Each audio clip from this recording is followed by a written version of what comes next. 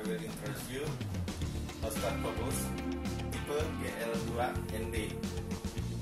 Berbeda dengan holster yang GL2 tanpa polos bagian depannya, yang GL2ND terdapat variasi lubang, empat lubang, tetap menggunakan pedal.